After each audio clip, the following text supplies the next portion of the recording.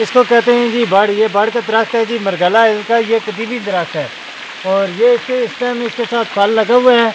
ये एक दाना आपके सामने हम तोड़ते हैं और ये इंसान के खाने के लिए और मैदे के लिए बड़ा, वो मुफीद है और ये ठंडा होता है और गर्मी मौसम में ये पाए जाते हैं।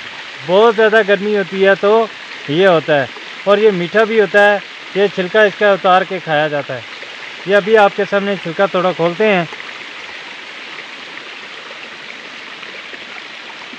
मैंने खा के भी दस।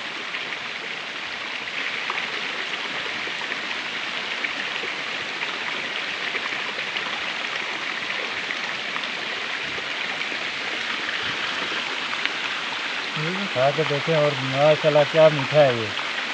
बहुत तो देता था इतना मीठा।